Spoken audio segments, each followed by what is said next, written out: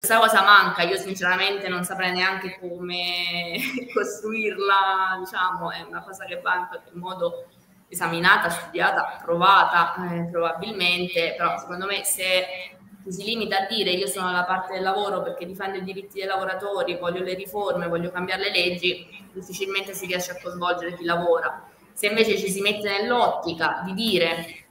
io rappresento quella parte, voglio in qualche modo farne una parte simbolica, eh, diciamo, della, della, parte politica e in qualche modo voglio eh, fare in modo che la coinvolga anche emotivamente al mio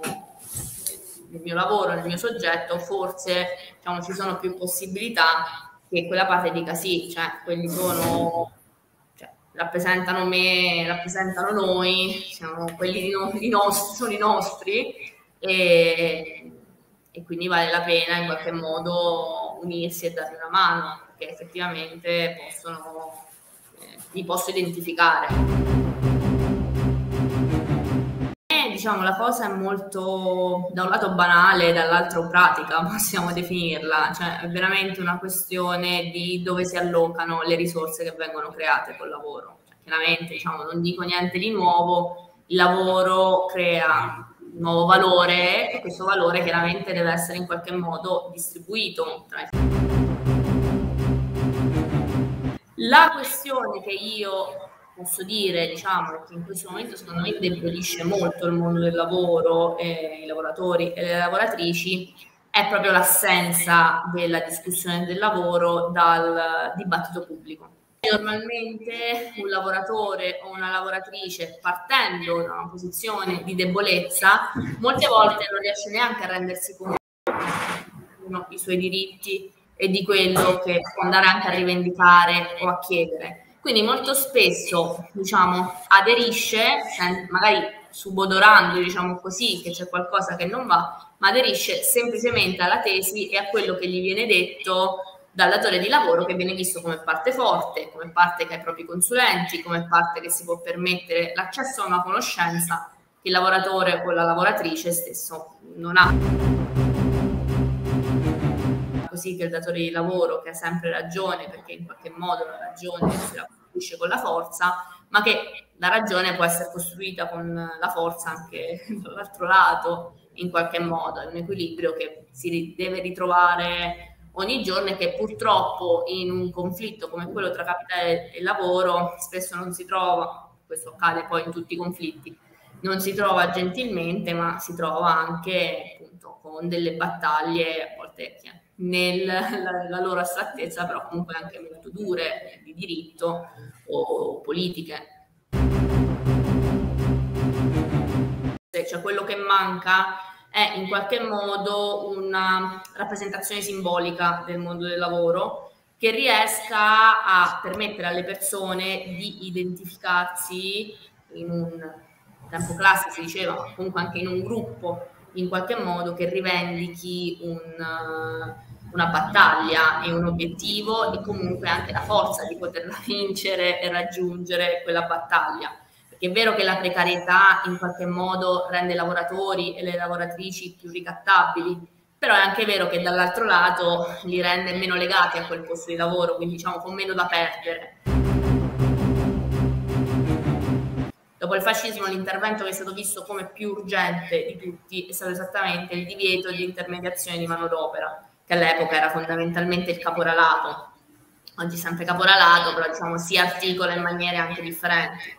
E questo vorrebbe dire l'abolizione delle cooperative a cui vengono appaltato il lavoro, l'abolizione degli appalti di lavoro, l'abolizione secondo me anche delle agenzie di somministrazione, in cui in questo momento, anche se legali quelle, diciamo, si annidano le peggiori storie di sfruttamento in questo paese, per comunque restituire una responsabilità al soggetto che effettivamente utilizza le prestazioni, perché in questo momento noi troviamo, ci troviamo in un paese in cui diciamo, qualcuno utilizza, si arricchisce anche sulle prestazioni lavorative altrui, però si spoglia totalmente da ogni responsabilità nei confronti sia dei lavoratori che anche dello Stato con il pagamento di tasse e di contributi. E questo secondo me è il tema fondamentale nel mondo del lavoro oggi.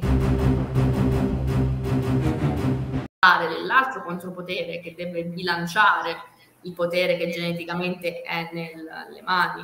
del datore di lavoro, secondo me difficilmente si riesce a intercettare anche la voglia di cambiamento che inevitabilmente per una persona che tutto il giorno subisce comunque un potere sul posto di lavoro, una cosa che a lungo andare non è piacevolissima per nessuno e difficilmente lo riusciremo a intercettare solamente su una questione, parlando solamente di diritti, solamente di leggi e solamente di riforme. Io lo trovo una, un dibattito importantissimo ma se l'obiettivo è quello di ricostruire un soggetto politico effettivamente, eh, diciamo, effettivamente intercetti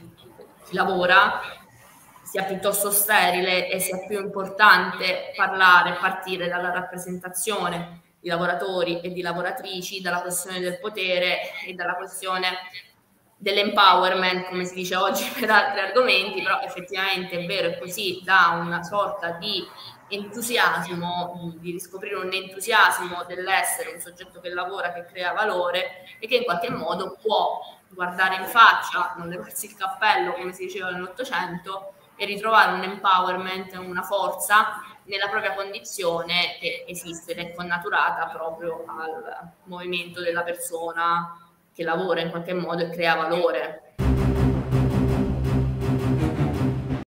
perché spesso si ha l'impressione che i partiti o movimenti che più agitano la questione siano molto più intellettuali che formati da veramente eh, lavoratori che hanno una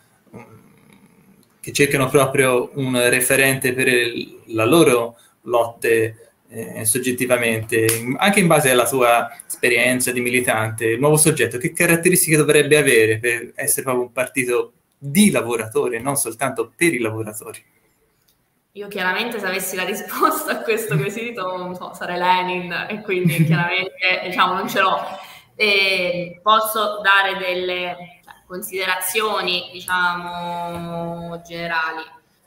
Io credo, insomma, ricollegandomi a tutto quanto detto sinora, che finora in realtà nessun partito, pur diciamo, volendo effettivamente difendere i diritti di lavoratori e di lavoratrici, si sia posto effettivamente eh, la questione della riorganizzazione dei lavoratori e delle lavoratrici e della rappresentazione, perché magari la riorganizzazione è anche elemento più sindacale che prettamente politico, però della rappresentazione dei lavoratori e lavoratrici come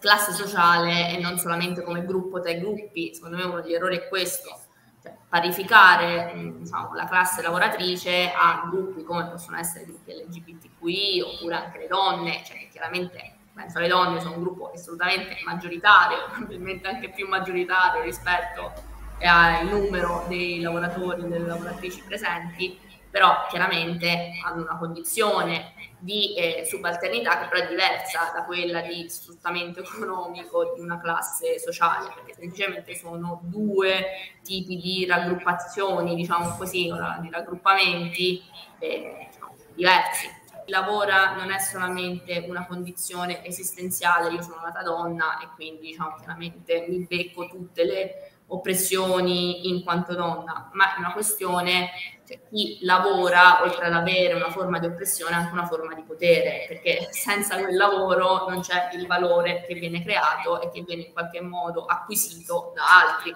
Diciamo, è molto differente, secondo me, la condizione. Si parte intanto da una confusione che non sempre giova, secondo me, nessuno dei due, nessuna delle forme di oppressione che uno vuole in qualche modo combattere. Música